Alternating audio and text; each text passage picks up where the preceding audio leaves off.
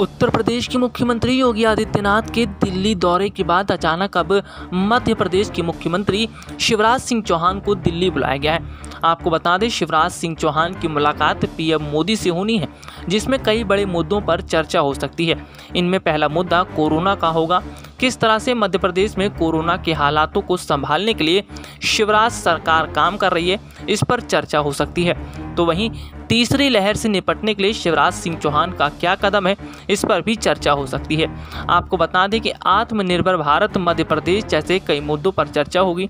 वैसे आपको बता दें, जिस तरह से कोरोना की दूसरी लहर के दौरान बीजेपी शासित राज्य अपने यहाँ स्थितियों को सुधारने में पूरी तरह नाकाम रहे थे, इसको देखते हुए पीएम मोदी बैठक के ज़रिए स्थितियों का जायजा ले रहे हैं। वैसे आपको बता दें, देश में कोरोना की तीसरी लहर को लेकर भी जानकारी दी गई है।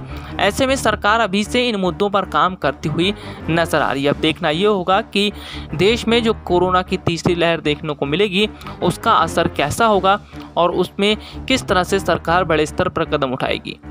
एस पी न्यूज़ रूम की रिपोर्ट।